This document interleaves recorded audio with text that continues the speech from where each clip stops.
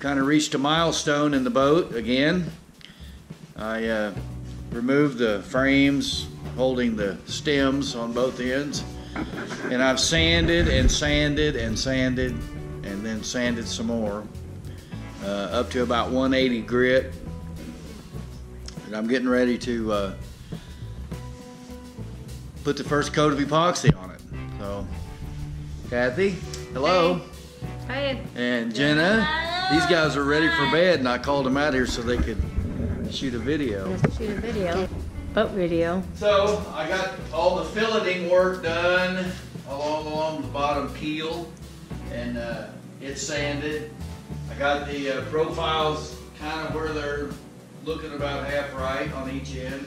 I filled all the nail holes over and over and over and over again. They keep popping up kind of like mushrooms that you don't see.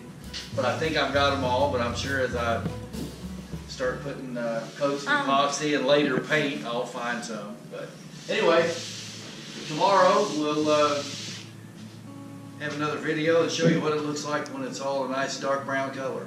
Yeah, yeah. Okay, so today we got the boat coated last night. Uh, it's not quite dry enough to sand yet, so I started shaping up my rudder board a little bit. Um, I belt sanded all the edges and got them fairly smooth. Um, now I'm doing a little epoxy work um, on the rudder. I've carefully marked the center line of this is the pivot hole where the rudder will pivot inside the dagger box. And I drilled it out with about an inch and a quarter Forstner bit. Uh, it's careful to like drill through with a real small bit. I drilled most of the way through from this side and then I went finished it up so I wouldn't have a big blowout on the outside. Then I put tape on one side, filled it up with epoxy slowly, and taped the other side.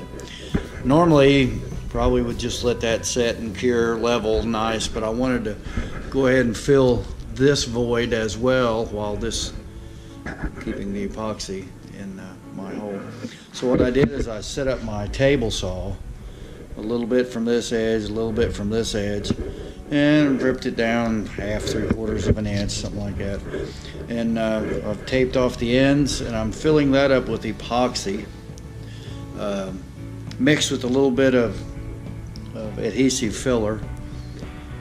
And so what that's going to do is this is a leading edge, and when I round these over with the big round over bit later, that'll leave this epoxy, this hardened surface, in case you know you hit a rock or a barnacle or up on the beach or whatever. You're not grinding away on the wood. You're going to contact the uh, epoxy first.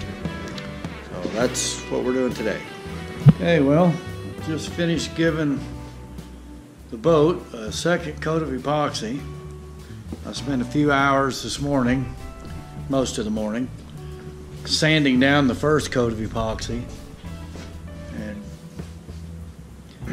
then wiping it down, getting all the dust off. Then I blew all the dirt I could out of the garage from the ceiling and behind everything and tried to get it as dust free as I could. And Put the second coat on. Now that Saturday, I'm planning on having some people over. We're going to turn the boat over and set it on these rollers down here um, so I can move it around the shop. and I'll start working on the inside. And then I'll get the inside fitted out, and at a later date, we'll flip flip the boat back over, paint the outside, flip it over again, and paint the rails. But anyway, that's a long way off. So I got the second coat of epoxy done. Hull's looking pretty good. Looks like it's going to be a pretty large boat, actually. Can't wait to get it turned over. Uh, yesterday, I finished working on the foils.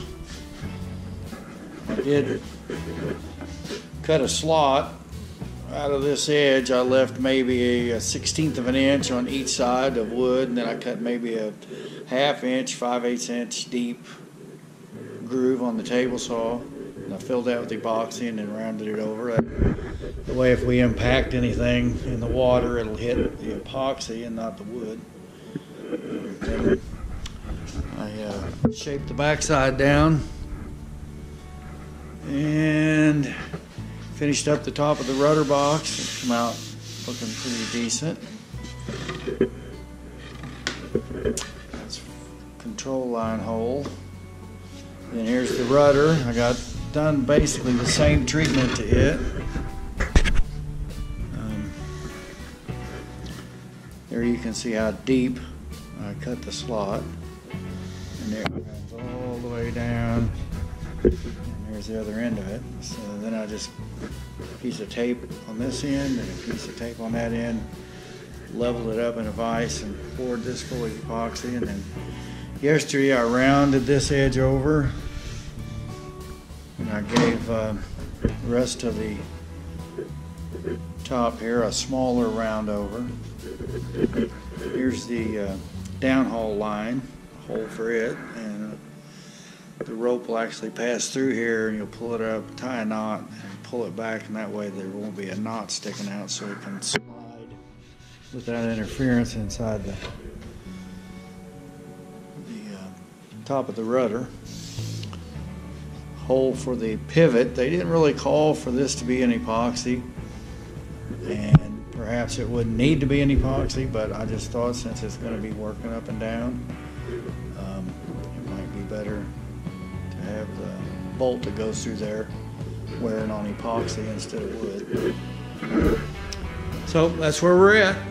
Uh, Saturday, I'll we'll have a video of flipping the boat over and getting that whole stand thing out of the way and a little more room here in the shop. And I'm going to get busy working on the interior and some of the spars.